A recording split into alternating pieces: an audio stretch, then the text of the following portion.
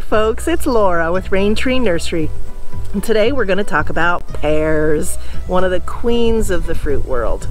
There are two different kinds of pears. We have Pyrus communis, which is a standard European style pear, and it's distinguished by its pointed top. And we have Pyrus pyrifolia, also known as an Asian pear, and it's distinguished by being usually totally round. These are crunchy and very juicy and last a really long time. These are luscious and sweet. Some last a good long time. Some don't last very long at all. And they're all gorgeous and tasty. Let's learn more about growing them.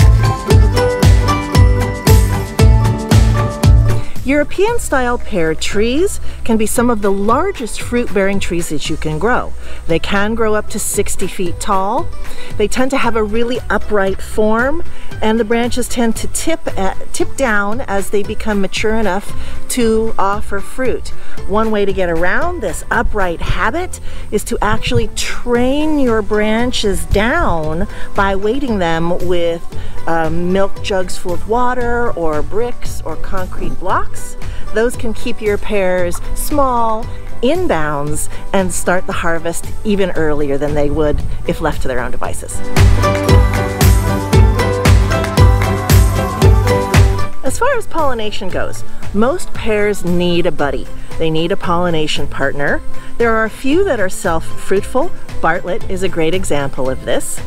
Also, pears tend to be divided into early blooming and late blooming varieties. So please make sure when you're picking a pear duo out that they are both either early or late blooming varieties.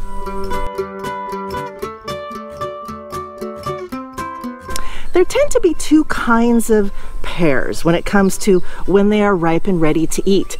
There are summer pears, which are harvested near the end of the warm season, and then there are winter pears, which tend to be harvested into the fall. They tend to keep very well, sometimes into the spring of the following year. They tend to have darker skin, and this is a summer pear, this is a Bartlett. It will ripen to a beautiful yellow like this. Most pears ripen from the inside out. So when it's this color, you know it's really ripe and ready to eat. That's a summer pear at its height. A common mistake that people make when they go to harvest their pears, especially the winter keeping pears, is they leave them on the tree too long. They will not be ripe when you take them off the tree.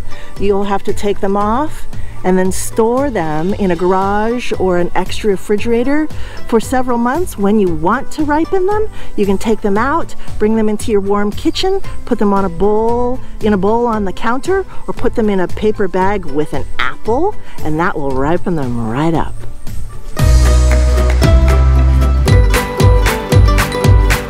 Pears can be grown in zones 4 to 8 and there are even a few really hardy varieties that can grow as cold as zone three. So even you cold region gardeners can enjoy wonderful pears in your garden. Pears prefer to be growing in full sun. They will take some shade as they mature, but the tree will not be as healthy as it will like to be if it gets shade. They also can be grown in pots. You can keep them in a large pot, say a half whiskey barrel, and you'll still have a beautiful tree and get a decent harvest, even with a tree that has been dwarfed by being held in a pot.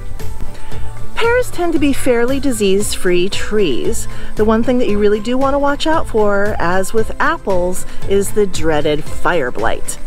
Pears can be subject to fire blight, which is a a fungal problem that can happen when there's too much humidity in the summertime. If you start to struggle with fire blight, make sure to prune out any affected parts of your plants. You can even cut down the trees and move them to a part of your area, your land that has better air circulation. And that's how you work with fire blight.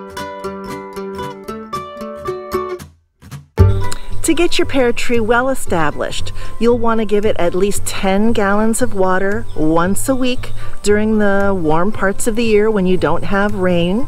If it's over 80 degrees, do water them twice a week. If you keep them well watered in those first two years they're getting established, they'll become very happy trees and will live for many, many decades and give you lots of luscious fruit. As for fertility, make sure you use good compost when you plant your tree. Give it an occasional top dressing of well-rotted manure or a timed release organic granule fertilizer, but do not fertilize your tree the first two years it's in the ground. You don't want to push it to grow too hard and too fast. Let it do its thing early on, and then when it feels like there isn't as much health in the tree as you might like, or you'd like to stimulate a little more bloom production, you can go ahead and give it a little extra fertility. And here we have our beautiful Bartlett pear in full bloom in spring. Isn't this lovely? You know, there are people who grow ornamental pears that don't make any fruit, just for the blooms. But why would you do that when you can have the gorgeous blooms in the spring and the luscious fruit in the summer and fall? And that's it for us here at Raintree Nursery. Thanks for joining us, and we'll see you next time.